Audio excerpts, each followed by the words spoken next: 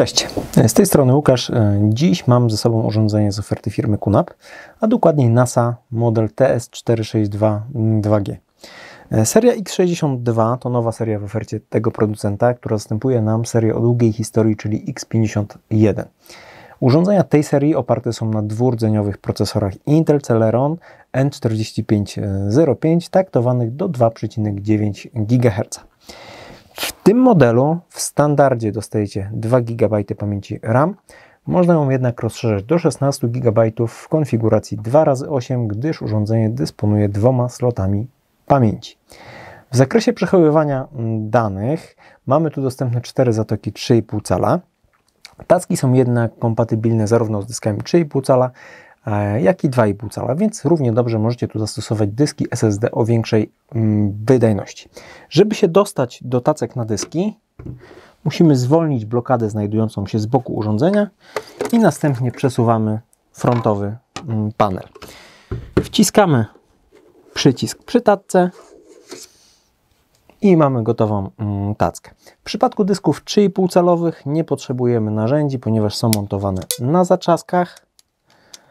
Przypadku dysków 2,5 calowych e, potrzebujemy śrubokręta, śrubki oczywiście do nich są dołączone do zestawu.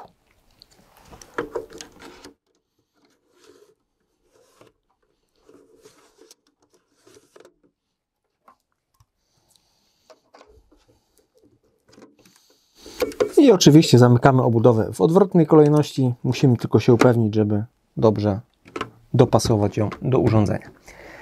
E, urządzenie zostało zamknięte w plastikową obudowę w kolorze mm, białym e, oraz z przodu macie taki element w kolorze złotym, na którym znajduje się włącznik zasilania, przycisk e, One Touch Copy oraz powiązany z nim mm, port USB.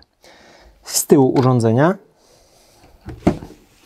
Mamy trzy porty USB, w tym jeden port USB 3.2 generacji drugiej z prędkościami do 10 gigabitów na sekundę oraz dwa porty USB 2.0. Mm, Oprócz tego urządzenie dysponuje portem HDMI w standardzie D2.0, dzięki czemu możecie do niego podłączyć monitor lub telewizor o rozdzielczości 4K, jeden port sieciowy 2,5 gigabita, e, gigabit Ethernet z możliwością rozbudowy możliwości sieciowych o karty PCI Express. Zaślepkę od slotu PCI Express znajdującego się na płycie głównej również macie tutaj z tyłu. Do zasilania urządzenia wykorzystujemy zewnętrzny zasilacz, oczywiście dołączony do zestawu o mocy 90 W, ale według testów producenta urządzenie nie powinno przy normalnej pracy w pełni obsadzone dyskami pobierać więcej niż 26 W.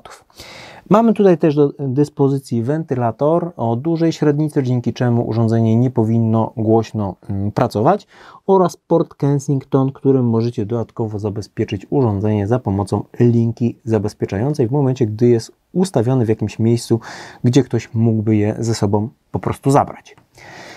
Wewnątrz obudowy znajdziecie również dwa sloty na dyski M2 PCI Express, które można wykorzystać, aby w systemie QTS stworzyć albo pulę pamięci z mechanizmem automatycznego pozycjonowania, czyli QTIR, lub wykorzystać je jako cache odczytu zapisu, odczytu zapisu, żeby przyspieszyć dostęp do danych na dyskach twardych e, w urządzeniu. E, myślę, że to urządzenie sprawdzi się u użytkowników, którzy poszukują sprzętu dającego duże możliwości rozbudowy, potrzebują przechowywać większe ilości danych, bo możemy tu już otworzyć na czterech dyskach na przykład grupę RAID 5 i wtedy tylko jeden dysk wykorzystujemy na przechowywanie, przechowywanie danych parzystości. E, jest to też urządzenie dla użytkowników, którzy wykorzystują kontent multimedialny. Ze względu na obecność procesora z obsługą grafiki umożliwia to urządzenie nam mm, skorzystanie z transkodowania wspomaganego sprzętowo, co zapewni szybsze przetwarzanie zdjęć m.in. w ramach mechanizmu i rozpoznawanie w ramach mechanizmu Kumergy, a jednocześnie nie jest to urządzenie dla użytkowników, którzy planują instalować duże ilości aplikacji wymagających większej mocy obliczeniowej lub korzystać z wirtualizacji, głównie ze względu na dwurdzeniowy mm, procesor. E, serwer TRS-4622G znajdziecie m.in. w sklepie internetowym XCOM, e, który jest jednym z naszych partnerów handlowych e, i myślę, że warto śledzić ofertę szczególnie ze względu na zbliżający się gorący okres zakupów, czyli Black Friday, Cyber Monday i ogólnie okres przedświąteczny. Dajcie znać e, w komentarzach, jaki model chcielibyście zobaczyć w kolejnym materiale. Do zobaczenia.